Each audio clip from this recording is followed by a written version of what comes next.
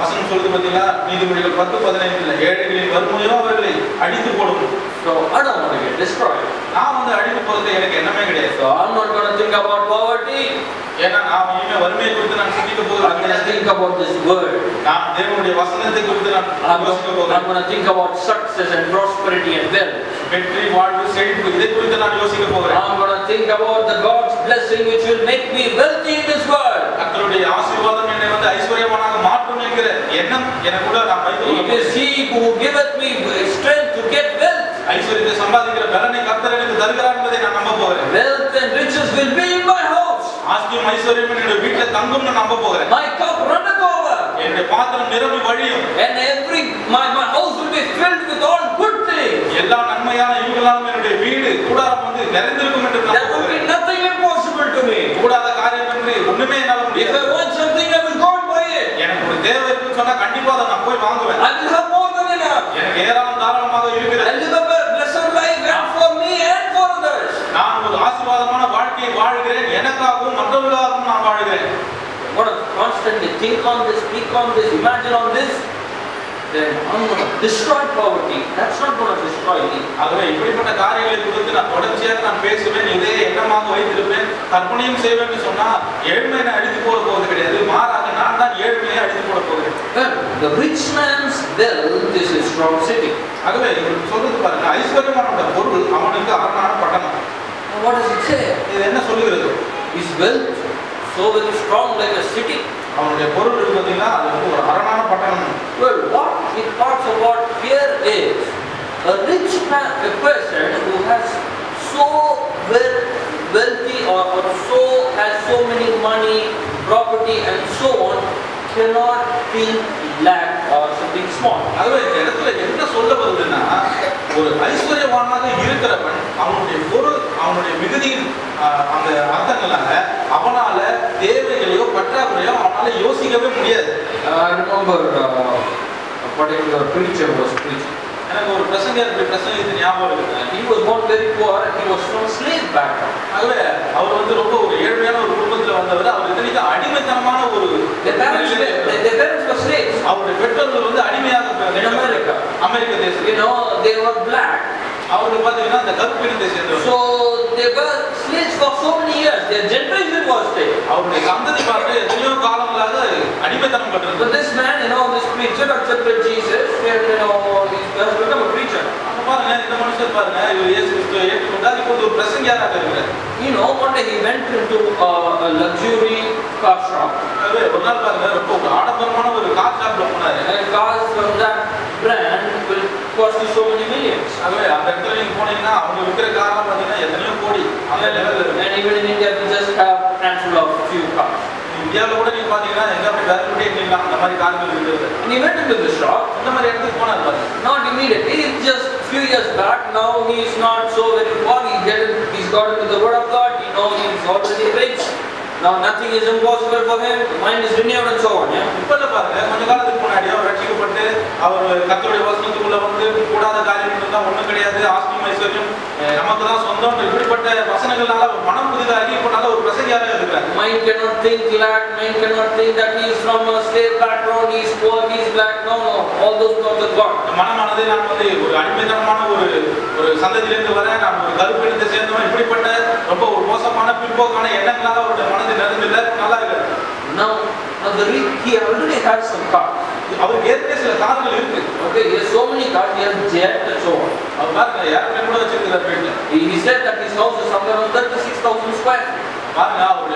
முப்பத்தாறாயிரம் square ஃபீட்ல He கட்டியிருக்காரு lives in a 200 acre house. இருநூறு ஏக்கர்ல ஒரு இடம் எடுத்து அந்த இடத்துல வீடு கட்டியிருக்காரு. Okay, so he has everything. அவருக்கு எல்லாமே இருக்கு Now he just, he was just going on, he just looked at this car, it was looking good, so he just went in to have a look at the car. அதுல பாருங்க மாதிரி ஒரு car ஷாப்ல அந்த காரை பார்த்தாரு.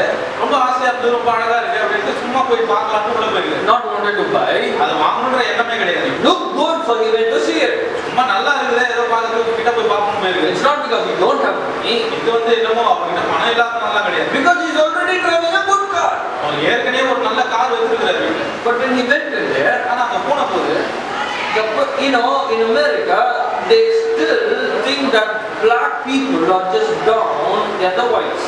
ஆகவே அமெரிக்க தேசத்துல இன்னமும் பாத்தீங்கன்னா இந்த வெள்ளை மக்கள் இருக்காங்க பாத்தீங்களா இப்படிப்பட்டவங்க வந்து கருப்பினத்தை சேர்ந்தவர்கள் தங்களோட என்னைக்குமே கொஞ்சம் குறைவுதான்ற ஒரு எண்ணம் அவங்களுக்கு இருக்கு பரவாயில்ல at the car. ஆகவே இவர் போயிட்டு அந்த இருந்தாரு And the man he said, அப்புறம் அவங்க இந்த மனுஷன் சொன்னார் பாருங்க Not everyone can afford to buy this car.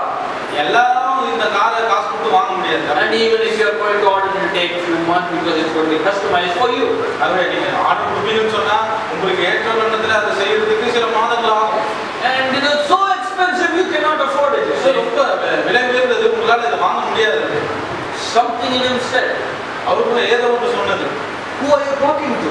நீ யார்கிட்ட பேசிக்கிட்டு இருக்க He has no idea of the, to the person who is speaking with. பாருங்க அவருக்கு ஒரு கொஞ்சம் கூட அவருக்கு புத்தின்றதே இல்லை இவரு யார்கிட்ட பேசிக்கிட்டு இருக்காங்க He is speaking to a person who thinks what impossible is possible with him. அவர் யார்கிட்ட பேசிக்கிட்டு இருக்காருன்னா நடைமுறைக்கு ஒவ்வாத காரியங்களை நடத்தி காட்டுகிற ஒரு மனுஷன் கிட்ட You know, he has already renewed his mind that if he wants something, he can get it. அவருடைய மனம் ஏற்கனவே அவருக்கு புதிதாக்கப்பட்டிருக்கிறது எனக்கு ஏதாச்சும் ஒண்ணு தேவைன்னா கண்டிப்பா நான் அதை போய் வாங்குவேன்னு நினைக்கிறவர் அவர். It is somewhere around 5 to 6 million, the car rate. ஆகவே இது பாத்தீங்கன்னா அஞ்சுல இருந்து ஆறு கோடி இந்த விலையில இருக்கு When he said that, you know, when the seller who said that, he said, I want this car and I want it now.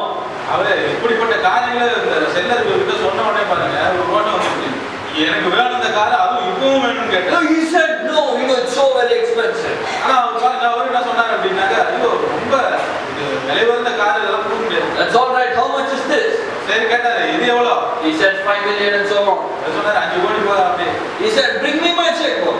எனக்கு எட்டுனாங்க என்னுடைய cheque He wrote a check, just in a single check, handed it over to him, bring it. அதுவே பாருங்க அப்படியே check எடுத்துறாரு அஞ்சு கோடிக்கு side போட்டு இருந்தா கையில கொடுத்துட்டு நீ காரை எடுத்து வீட்டுக்கு for saying this is, இது ஏன் நான் சொல்றேன் அப்படின்னா see, he's so very wealthy, ரொம்ப ஆஸ்தி ஐஸ்வர்யவனா இருந்தாரு. It is so very strong அவர் ரொம்ப ஒரு பலமுள்ள மனிதர் தான் that he cannot think lack. ஏன்னா அவரால ஏழ்மையும் பற்றாக்குறையும் அவரால் யோசிச்சு பார்க்கவே முடியல Those thoughts cannot even cross his mind. இப்படிப்பட்ட பிற்போக்கான எண்ணங்கள் அவருடைய மனதுல சும்மா பாருங்க அந்த பக்கம் கூட போக முடியல Now, how did he reach that level? எப்படி இப்படிப்பட்ட ஒரு நிலைக்கு அவர் போனார் I remember the same person எனக்கு தெரியும் அதே நபர் தான் when he first started hearing the word. அவர் முத முதல்ல கத்தருடைய வசனத்தை கேட்க ஆரம்பித்த புதுசுல His house had only one one bulb. அவங்க வீட்டுல பாருங்க ஒரே ஒரு பல்பு தான் அது மட்டும் தான் The எரிஞ்சுட்டு whole house had one bulb.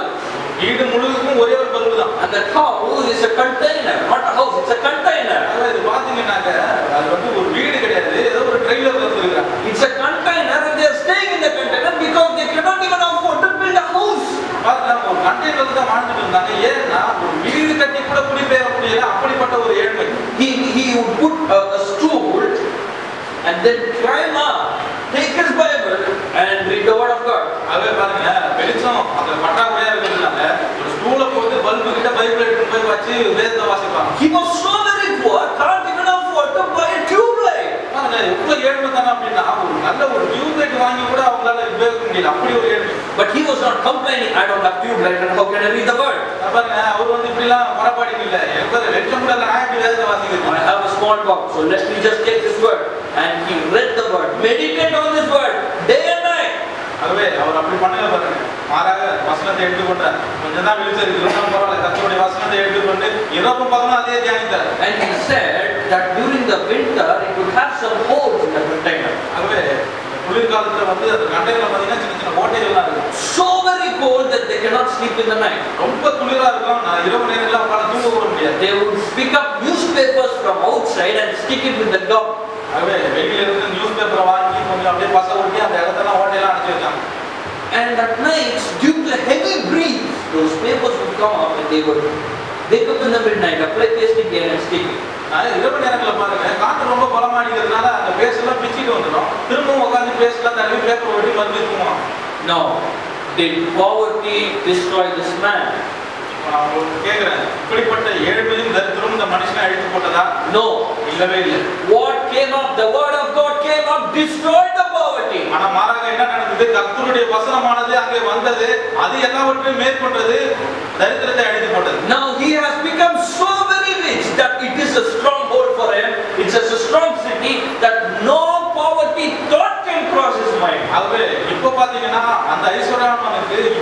பொருள்கள் எல்லாமே பெரிய பலத்த அரணா மாறி இருக்கு பாருங்க ஒரு எப்படி எதுக்காக இந்த அரண் சொன்னாங்க? ஒரு மோசமான பிற்போக்கான ஒரு எண்ணம் கூட இப்படி வர முடியாது. இவரால நான் ஏழையா இருக்கிறேன். என்னால எதையும் வாங்க முடியாதுன்னு கூட யோசிக்க முடியல. அப்படி ஒரு நிலைமை கொண்டு போயிடுச்சு. Bible taught that seed of the righteous shall not beg for food. நீதிமான் அப்பத்திற்கு அழைக்கிறது.